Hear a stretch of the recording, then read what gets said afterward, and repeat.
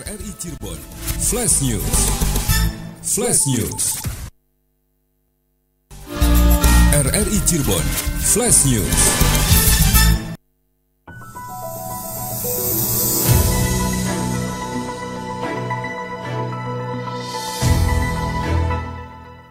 Tujuh ribu lebih atlet pelajar sekota Cirebon mulai dari SD hingga SMA dan yang sederajat sedang menguji kemampuan masing-masing dalam Pekan Olahraga Pelajar Kota Pop Kota Cirebon tahun 2022.